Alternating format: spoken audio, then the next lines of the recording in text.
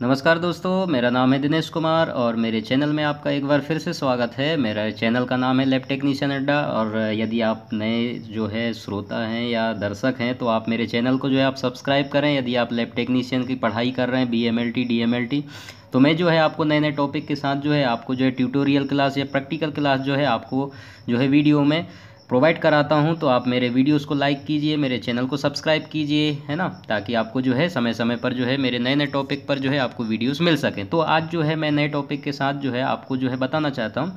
मेरा जो है, आज का टॉपिक है कलोरीमीटर बहुत इंपॉर्टेंट टॉपिक है है ना?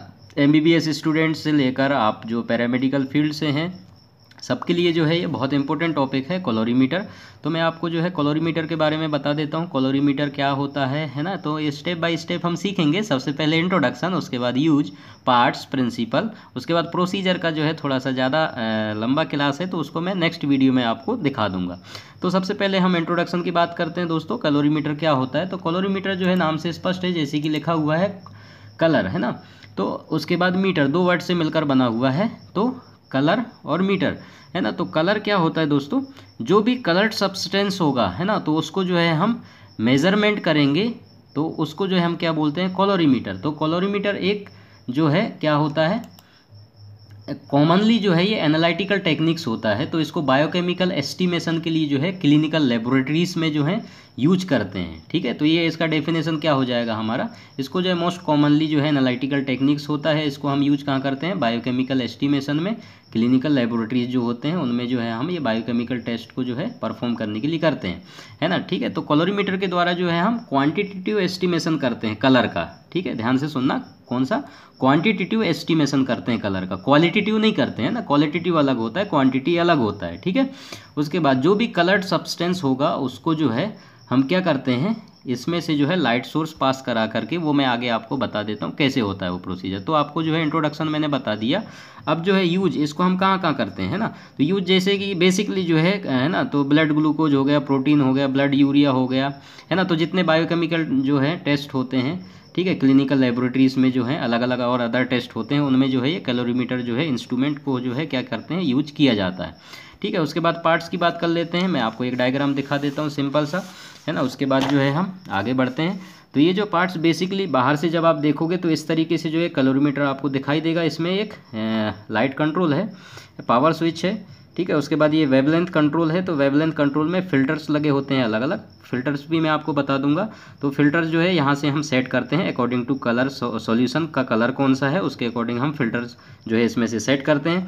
ये आपका सैंपल होल्डर है दोस्तों। इसमें जो है, हम सैंपल जो है क्यूवेट रखते हैं। उसके अंदर जो भी सोल्यूशन होगा, जिसको भी मेज़र करना है, उसको जो है हम इसमें रखते हैं। उसके बाद ये जो है लैंप लगा हुआ है, उसके बाद ये इंपॉर्टेंट पार्ट जो है इसमें, है ना? तो ये जो है हमारा एब्जॉर्बेंस स्केल या फिर आपको जो है आउटपुट जो है ये देता है। दो प्रकार के होते हैं ये एनालॉग होता है और एक डिजिटल होता है। ये जो मैं शो कर रहा हूँ, ये एनालॉग है, ठीक है? दोस्तों, अब इसके अंदर की बात कर लेते हैं, कैसे जो है ये वर्क करता है और प्रिंसिपल पे भी हम बात करेंगे। तो ये जो आपको पिक्चर दिख रहा होगा, ध्यान से देखना इस पिक्चर को और समझना, है ना? तो सबसे पहले जो इसमें पार्ट्स अलग अलग हैं, जैसे कि ये लाइट सोर्स बहुत इंपॉर्टेंट पार्ट्स है ना? ये लाइट सोर्स हमारे पास है, ठीक है? उसके बाद ये स्लिट लगा हुआ है, फिर उसके बाद जो है ये लेंस लगा हुआ है, ठीक है? उसके बाद जो है ये फ़िल्टर लगा हुआ है, ये सीक्वेंस में लगे हुए हैं। उसके बाद जो है ये हमारे पास सैंपल है या क्यूवेट है, उसके बाद ये फ़ोटो सेल कन्वर्ट करके आपको जो है क्या आउटपुट जो है दे देगा। ठीक है, ये आउटपुट आपके पास है, ठीक? तो यहाँ पर जो है हमें आउटपुट मिल जाएगा। अब जो है दोस्तों, ये जो है दो प्रिंसिपल पे बेस्ड है कॉलोरीमीटर सबसे पहले जो है बियर्स लॉ और एक होता है लैम्बर्स ठीक है? तो दो लॉ पे जो है ये बेस्ड है तो सबसे पहले हम बात करेंगे बियर्स लॉ का, जो बियर्स लॉ क्या बोलता है? ठीक है? तो बियर्स लॉ की जब हम बात करेंगे तो अकॉर्डिंग टू बियर्स लॉ यहाँ पर आप ध्यान से समझना, ये जो है, मैंने आपको बताया, ये लाइट सोर्स है, यहाँ से लाइट सोर्स जाएगा तो पूरा पॉलीक्रोमेटिक लाइट दिया है। पॉलीक्रोमेटिक का मतलब जो होता है, पूरा कलर वाला लाइट जो है इसमें से पास होगा। पूरा मैं अच्छे से आपको हिंदी में समझा रहा हूँ, ताकि आपको समझ में आ जाए, ठीक है? सारे कलर के लाइट जो है इसमें से पास होगा। लेंस का काम होता है लाइट को फोकस करना, ठीक है? उसके बाद ये फ़िल्टर लगा हुआ है। अब यदि मैंने यहाँ पर एग्ज़ाम्पल दिया हुआ है यदि मेरे पास सॉल्यूशन रेड कलर का रखा हुआ है तो रेड कलर के सॉल्यूशन के लिए मैंने ग्रीन फ़िल्टर यूज़ किया हुआ है।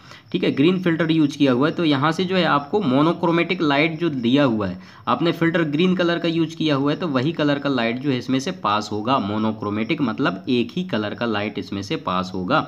ठीक लाइट जब पास होगा, आगे जो है हमारा क्यूएट रखा हुआ है या सैंपल इसमें रखा हुआ है solution coloured solution photo cell पे जाएगा और उसके बाद जो है हमें आउटपुट दे देगा। तो बी एस लो क्या बोलता है?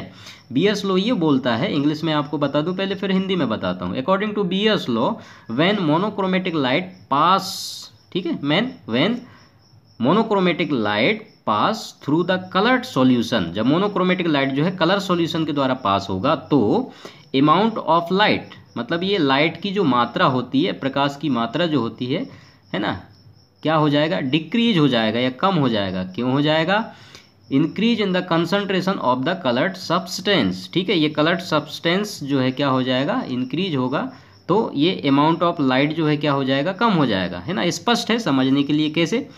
ये जो कलर्ड सॉल्यूशन है, या इसमें कलर है, यदि इसमें कोई कलर नहीं होता तो लाइट सोर्स जो है, जितना लाइट इधर से जा रहा है, उतना ही लाइट आपको इधर बराबर मिल जाएगा। लेकिन कलर्ड सॉल्यूशन हमने यूज़ किया है कलर है तो यहाँ से जब लाइट सोर्स जाएगा तो ये जितना लाइट का अमाउंट यहाँ पर होगा मोनोक्रोमेटिक लाइट का, है ना? तो इधर उतना ही कम होगा तो क्योंकि यहाँ पर कलर्ड सॉल्यूशन दिया है सब्सटेंस है है ना? तो उसी चीज़ को जो है, ये कलर्ड सब्सटेंस इसी को हमें मेज़र करना है, ठीक है?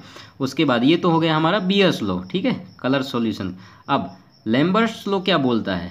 वही चीज़ है, थोड़ा सा अंतर क्या है इसमें? लेम्बर्स लो ये बोलता है अमाउंट ऑफ़ लाइट जो है डिक्रीज होगा। क्यों होगा decrease increase in the thickness of the coloured solution या पाथ ऑफ़ लाइट ये जो हमने यूज़ किया है, ठीक है? तो यहाँ से यहाँ तक जो ये सफ़र है इसका, ठीक है? ये लाइट का, यहाँ से यहाँ तक। और इसकी थिकनेस ठीक है? इसके कारण जो है अमाउंट ऑफ़ लाइट क्या हो जाएगा? डिक्रीज हो जाएगा। ठीक है? तो सिंपल सा है। लैम्बर्ट स्लो भी सिंपल है। बियर्ड स्लो भी सिंपल है। ठीक है? एक बार और आप रिपीट करके सुन लेना ताकि आपको जो है समझ में आ जाए। मैं हिंदी में भी बता दिया इंग्लिश में भी आपको जो है बता दिया ताकि अच्छे से आपको समझ में आ जाए। ठीक है दोस्तों? तो ये जो है हमारा क्या हो गया? प्रिंसिपल ठीक है? तो दो ही लो पे यह काम करता है। उसके बाद जो है फ़िल्टर जो है अलग अलग यूज़ करते हैं। जैसे कि आपको यदि ग्रीन येलो कलर का सॉल्यूशन है तो आप वॉयलेट कलर यूज़ करोगे। इसका जो है वेवलेंथ जो है, दिया हुआ है अलग अलग नंबरिंग किया हुआ है ना 400 से 420 इसकी वेवलेंथ होती है। ठीक है? वॉयलेट कलर के फ़िल्टर का, ठीक? अगर ग्रीन सॉल्यूशन है तो वॉयलेट कलर यूज़ करोगे। ये येलो कलर का जो है, अगर आपका सॉल्यूशन है तो ब्लू कलर यूज़ करोगे आप। रेड कलर का सॉल्यूशन है तो ग्रीन कलर का फ़िल्टर यूज़ करोगे। ब्लू कलर का है तो येलो कलर का। ग्रीन ब्लू है तो ऑरेंज ग्रीन है तो रेड इस तरीके से जो है, ये पूरा जो है कलर का जो है है ना फ़िल्टर का जो है, ये वेवलेंथ हमें दिया हुआ है। उसी अकॉर्डिंग जो है हम कलर जो है, जैसे सॉल्यूशन का कलर्ड होता है, उसी के अकॉर्डिंग जो है, ये फ़िल्टर हम क्या कर देते हैं सेट कर देते हैं। उसके बाद जो है मशीन को जो है कलोरीमीटर को क्या करते हैं ऑन करते हैं और उसमें से जो है कलर्ड सॉल्यूशन को जो है, हम क्या कर लेते हैं मेज़र कर लेते हैं। तो दोस्तों मेन जो हमारा पर्पस क्या है? ये जो हमारे पास सैंपल रखा हुआ है कलर्ड सॉल्यूशन ठीक है? तो ये जो कलर्ड सॉल्यूशन रखा हुआ है, इसी चीज़ को जो है हमें क्या करना है? मेज़र करना है, ठीक है? तो ये कलर्ड सॉल्यूशन जो आपको दिख रहा होगा, जैसे कि मैंने रेड कलर का एग्ज़ाम्पल आपको बताया था, ठीक है? तो ये जो है हमें आउटपुट जो है हमें दे देगा और दो लो पे काम करता है, बहुत इंपॉर्टेंट है, वो आप याद कर लीजिएगा एग्ज़ाम में भी पूछता है, बहुत इंपॉर्टेंट वाइवा में भी आपका आएगा, ठीक है?